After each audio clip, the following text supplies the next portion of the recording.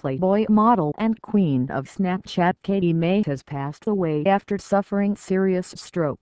She was aged just 34. Los Angeles-based Katie, who has modeled for Playboy and Sports Illustrated in the past, was taken to hospital after suffering the stroke on Monday and remained in critical condition until her death.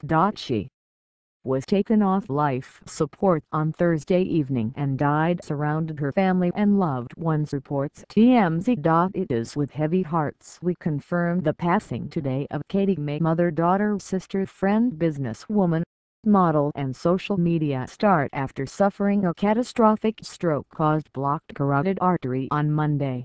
A statement from her brother Stephen May read. The successful model and social media star who was dubbed the Queen of Snapchat by Sports Illustrated and GQ, had been complaining of neck pain sought treatment recently. The website reports the stroke was caused by a blockage in the star's carotid artery.